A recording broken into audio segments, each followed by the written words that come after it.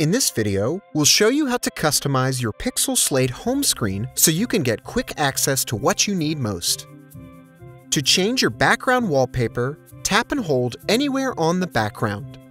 Then select Set Wallpaper. On the left, choose an image category.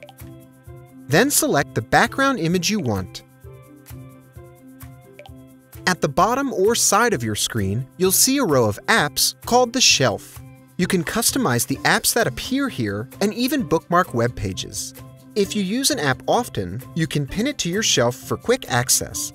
To pin an app, simply long press on the app and select Pin to Shelf.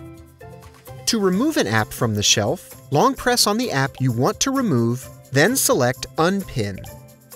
To change the order of apps in your shelf, long press the app, drag it to its new position, and release.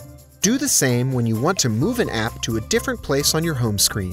If there's a website you use frequently, you can pin it to your shelf for quick access.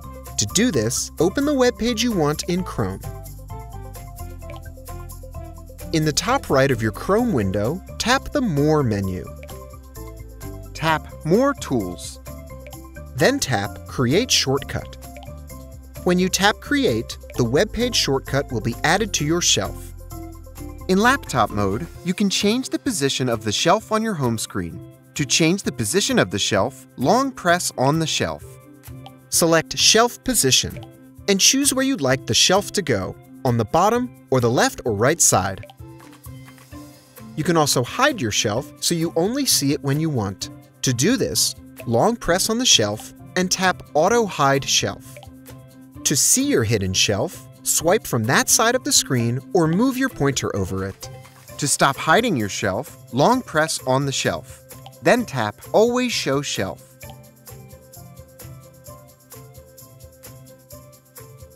To learn more, visit the Pixel Slate Help Center.